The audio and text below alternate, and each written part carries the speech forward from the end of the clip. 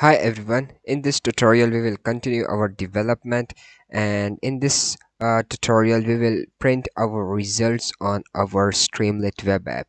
So here I'm thinking that uh, as we have noticed uh, in the previous tutorial that uh, Google is not translating 100% correctly. So instead of printing our text in a non-editable format, I will print my text on the Streamlit in an editable format like uh, I will either use a text input widget or I will use a text area widget. But I think text area widget will be more suitable because it allows us to input big inputs okay and i will use that. And for this purpose instead of printing this text one by one in a different text input area i will uh, create a final result of the whole text and then i will uh, print that final result in a single text input area. So uh, just create here a simple uh, variable okay and i will say like final final uh, underscore resu lt final result is equals to empty. So this will be my empty uh, string okay? And first of all uh, here i will say final final result is equals to final final result.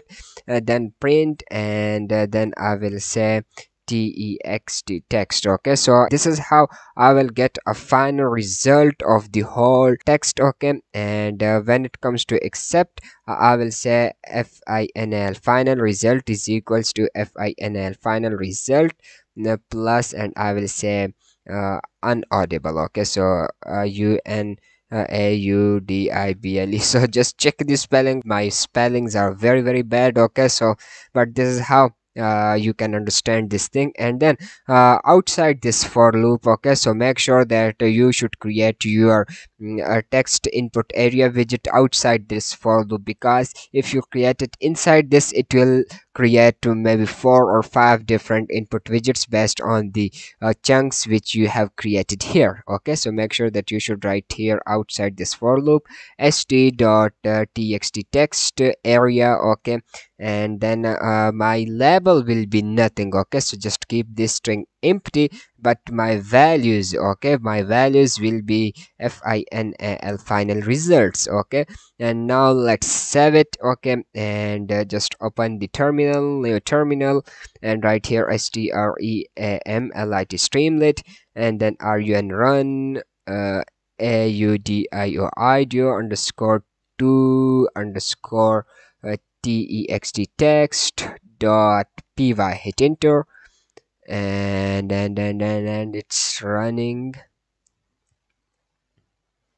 Okay so we need to uh, select our file browse file select audio sample open it. It's uh, processing. Let's wait for a few seconds. And yeah here we got our output. So now user can actually edit this text as well. So here is hello this is an audio sample for testing my text to audio okay so here um, i do not have any kind of uh, spacing and here i do not have any kind of spacing so let's open this vs code.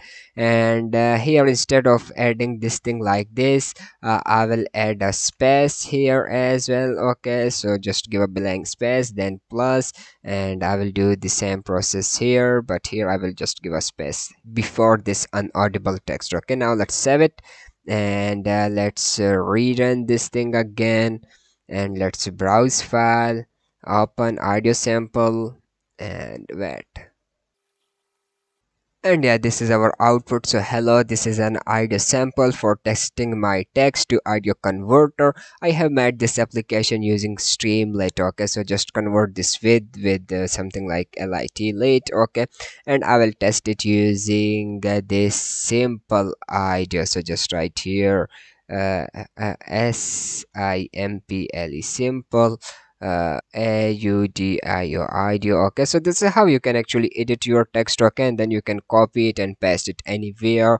And here i think uh, uh, one thing is still missing and that is we need to create here an audio widget so that user could listen to the audio file as well before editing this text.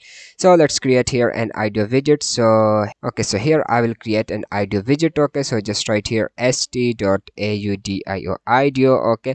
And uh, i will pass my this uh, audio here okay? So just write here uh, audio audio okay. Now let's save it again okay. And uh, let's uh, rerun this thing. Just browse file or, or, or audio sample open it okay. And now here we can actually listen to the audio. And then after listening to the audio we can actually edit our text okay. So now let's listen it. Hello this is an audio sample for testing my text to audio converter. I have made this application using Streamlit and I will test it using this audio sample. And yeah everything is quite good. And here as you can see we have text and you can edit this text. So this is how you can actually create this audio to text converter. So i hope that uh, you have enjoyed this tutorial. And in the next tutorial we will see something new. Till that point bye bye